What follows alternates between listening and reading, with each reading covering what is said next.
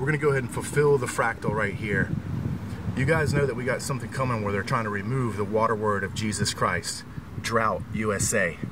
Of course, we're dealing with the water word of Jesus Christ, which is in everything. They're actually trying to create a perceptual drought that it's not there.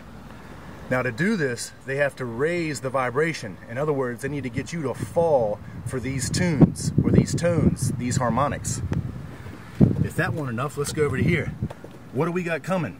We got coming a new horizon. Well, who's on the new horizon? The bright stuff. Who's the bright stuff? Lucifer, the bright in the morning star. Satan, Saturn. I'll be back.